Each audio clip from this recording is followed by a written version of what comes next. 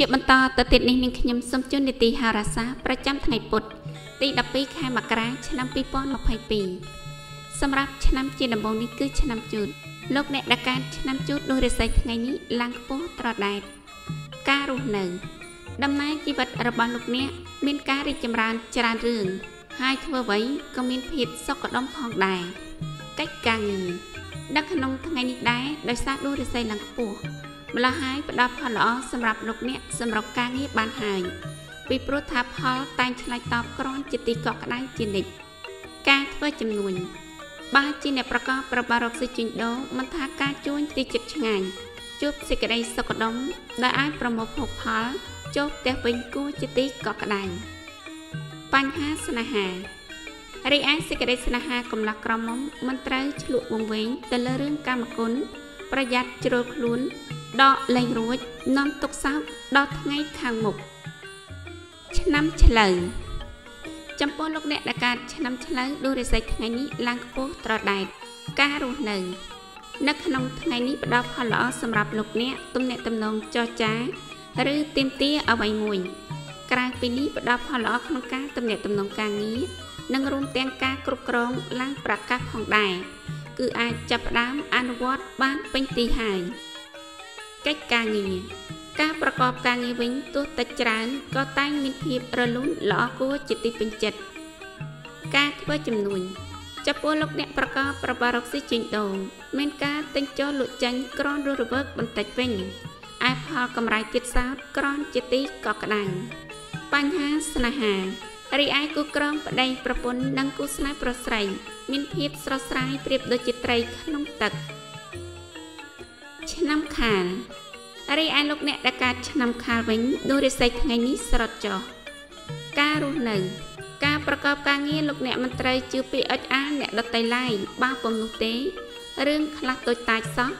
អាចរីកថ្លៃជាធំជាក់ជាពំខានកិច្ចការងារនៅក្នុងថ្ងៃនេះបានលោកអ្នក មានការទំនាក់ទំនងឬចរចាអ្វីមួយឃើញថាឱកាសផ្លត់ស្នេតនោះពោះគួសម ការធ្វើចំនួនឯលោកអ្នកប្រកបរបររកស៊ីជើញដូរវិញ មានការទិញចូលលក់ចេញក្រាន់រស់រវើកបន្តិចវិញប៉ុន្តែយ៉ាងណាផលកម្រៃមិនសូវឆ្លៃតបដូចសេចក្តីប៉ងប្រាថ្នាទេឬអាចនិយាយបានថាក្រាន់មួយទប់ទល់បញ្ហាស្នេហារីឯសម្ព័ន្ធភាពស្នេហាប្រុសស្រីគុំយកភាពប្រចាយប្រច័ណ្ឌដឹកច្រមុះឲ្យសោះប្រយ័ត្នកើតរឿងរ៉ាវឈានមិនដល់ខ្លាំងទ្វាអាពាពិពា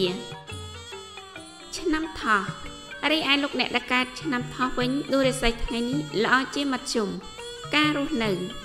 នៅក្នុងថ្ងៃនេះលោកអ្នកត្រូវមានភាពឧស្សាហ៍ដាក់ខ្លួន ហើយត្រូវចេះយកចិត្តក្រុមមនុស្សបន្តិចទៅទទួលលទ្ធផល អ្វីមួយត្រឡប់មកវិញកិច្ចការងារការប្រកបការងារវិញមានទាំងរឿងរ៉ាវល្អនិងអាក្រក់នៅលាយឡំគ្នា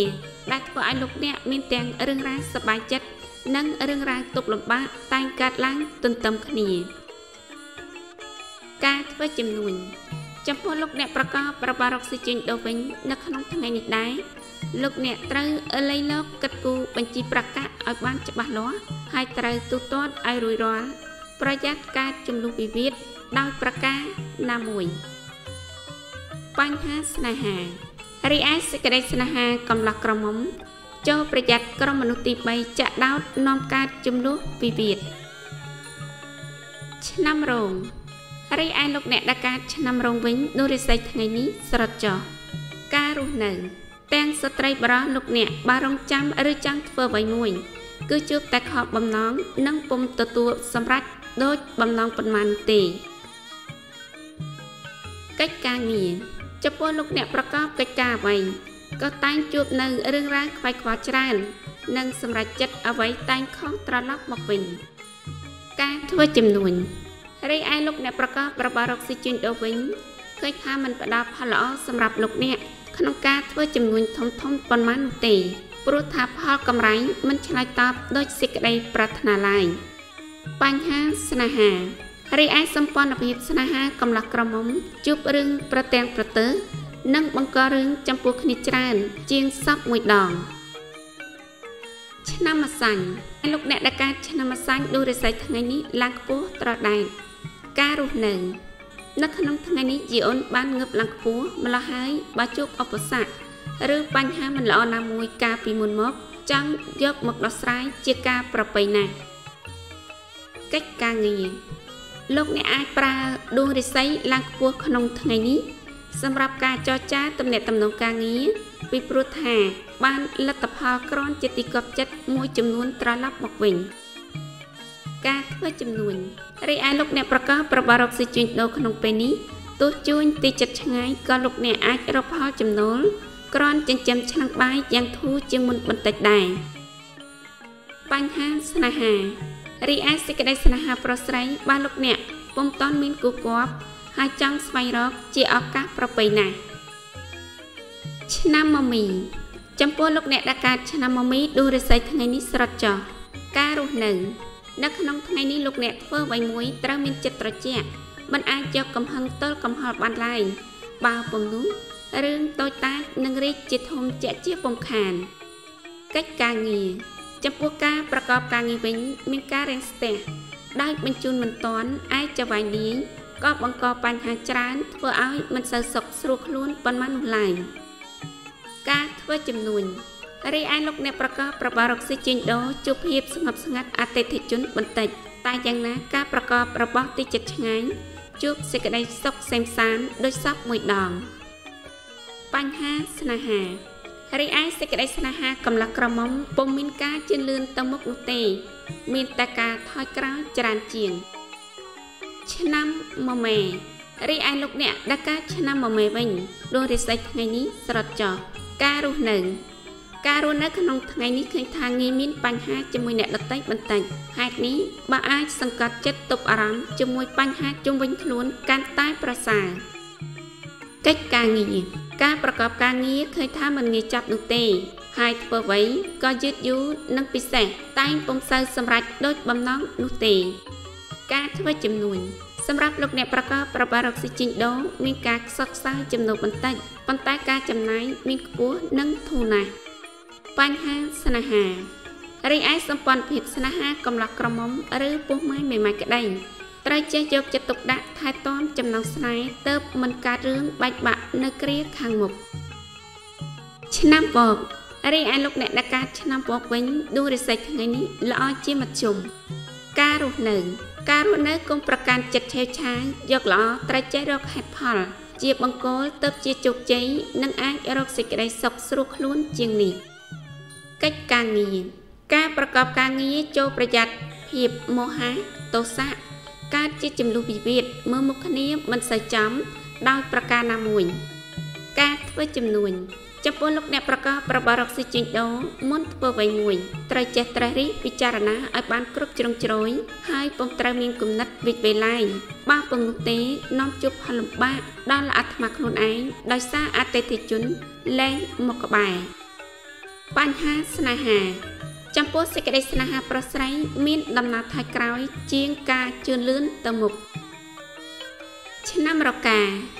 រីឯលោកអ្នកដែលកើតឆ្នាំរកាដួរស័យថ្ងៃនេះឡើងខ្ពស់ត្រដែតការរស់នៅ នៅក្នុងថ្ងៃនេះដំណើរជីវិតល្អប្រសើរហើយបើមានពងពាក់នរណាឬចង់ចរចារឿងអ្វីមួយ តែងទទួលជាផ្លែផ្កាក្រន់គប់ចិត្តកិច្ចការងារការបំពេញការងារវិញមានលក្ខណៈពេញដៃពេញជើងហើយមានការចម្រើនលូតលាស់គួរសមការធ្វើចំនួន ចំពោះលោកអ្នកប្រកបរបស់រកស៊ីជួញដូរវិញលោកអ្នកអាចបោះទុនរកស៊ីចុះហ៊ុនជាមួយអ្នកដទៃដែលអាចទទួលផ្លែផ្កាមកវិញគួរជាទីពេញចិត្តហើយបើលោកអ្នកចង់ជួញដូរផ្លែឆ្ងាញ់ក៏តែងហុចផ្លែផ្កាដោយការគ្រងទុកដែរបញ្ហាស្នេហារីឯសេចក្តីស្នេហាកំឡោះក្រមុំមានភាពផ្អែមល្ហែមនិងស្រស់ស្រួលគ្នាល្អប្រពៃណាស់ឆ្នាំចចំពោះលោកអ្នកដែលកើតឆ្នាំចដួរិស័យថ្ងៃនេះស្រត់ចោ ការរស់នៅលោកអ្នកក្នុងថ្ងៃនេះអាចជួបរឿងខ្វាយខ្វល់និងប៉ះទង្គិចផ្លូវចិត្តបន្តិចបន្តួចកើតឡើងចំពោះការធ្វើដំណើរចាក់ចេញឆ្ងាយពីផ្ទះវិញលោកអ្នកមិនត្រូវជឿយកអាសាគេពេកនោះទេព្រោះច្រើនយកគុណបដោទោសមកវិញប៉ុណ្ណោះកិច្ចការងារក្នុងរយៈពេលនេះចំពោះបុគ្គលិកកម្មករដែលបម្រើការងារនៅតាមបណ្ដាក្រសួងមន្ទីរក្រុមហ៊ុន ឬរោងចក្រនានាមិនត្រូវបង្ករឿងឆ្លោះប្រកែកជាមួយចៅហ្វាយនាយឬថៅកែឡើយពុំនោះទេអាចនឹងបាត់បង់ទូនាទី និងកន្លែងធ្វើការជាក់ជាពុំខានការធ្វើចំនួនចំពោះលោកអ្នកប្រកបប្របារកស៊ីចេញដូរក្នុងថ្ងៃនេះវិញការរកផលចំណូលទោះបីជាមានភាពរលូនល្អទៅមុខក្តីតែយ៉ាងណាក៏កើតមានភាពរកម្មរកោមិនតិចដែរទេ ហើយពិសេសលោកអ្នកឲ្យប្រយ័ត្នចំណូលតូចតាចបានហួស ព្រោះតែរវល់ស្រវាចាប់អាធំបញ្ហាស្នេហារីឯសម្ព័ន្ធភាពស្នេហាកំឡះក្រមុំមិនមានការលូតលាស់ទៅមុខទេ គឺមានការថយក្រោយច្រើនជាង ឆ្នាំចុងក្រោយនេះគឺឆ្នាំកុលរីឯលោកអ្នកដែលកើតឆ្នាំកុលវិញឌូរិស័យថ្ងៃនេះល្អជាមធ្យមការរស់នៅ នៅក្នុងថ្ងៃនេះលោកអ្នកជួបនៅបញ្ហាស្មុគស្មាញនិងបញ្ហាចំរងធ្វើឲ្យពុំសូវសុខស្រួលខ្លួនប៉ុន្មានឡើយកិច្ចការងារទាំងស្ត្រីបរោះដំណើរជីវិតរបស់លោកអ្នកងាយជួបបញ្ហាត្រូវគេវាយប្រហារដូចនេះគប្បីប្រយ័ត្នប្រយែងការងារដោយមិនត្រូវធ្វើឲ្យមានកំហុសច្រើននោះឡើយការធ្វើចំនួនសម្រាប់លោកអ្នកប្រកបរបររកស៊ីជួញដូរវិញជួបការលំបាកក្នុងការរកផលកម្រៃបន្តិច ឯការជួញទីចិត្តឆ្ងាយទៀតសោតកើតមានភាពរកម្មរកោសច្រើនទៀតផង បញ្ហាស្នេហា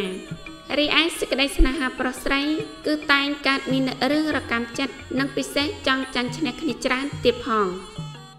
ចានេះគឺជាឆ្នាំទាំង12ដែលនាងខ្ញុំបានជម្រាបជូនប្រចាំថ្ងៃពុធ ទី12ខែមករាឆ្នាំ